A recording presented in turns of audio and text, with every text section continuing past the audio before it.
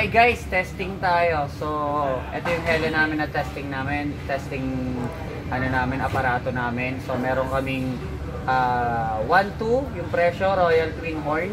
So, ito yung pinakabago na classic na horn na small. So, nung December lang to lumabas. Yung classic na malaki. Okay, saka yung Super Tone. Itong Super Tone namin, ito yung pinakamalakas. So, pantapat sa Europa. Testingin natin. Etong, ah, ano muna, Royal Twin Horn na tinatawag na snail. Okay, one more. Meron siyang low, meron siyang high. So pag magkasabay siya, pinatunog, automatic.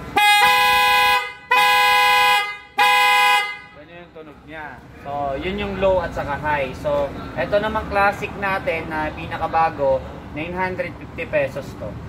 So, ganito yung tunog niya. Malakas din. So, yan yung classic, 950. So, ito naman yung classic na big. Ito naman yung tunog niya, 1950 naman to. Yan. So, yung pinakamalakas natin, super tone. 2.5 naman to.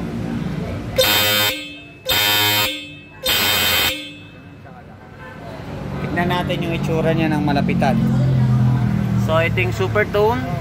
Presyo niyan ay 2.5. Okay. So, yung isa classic na big, presyo niyan ah, 1,950. So, yung small naman natin na bagong labas lang, ito yung pinakabagong lineup nila.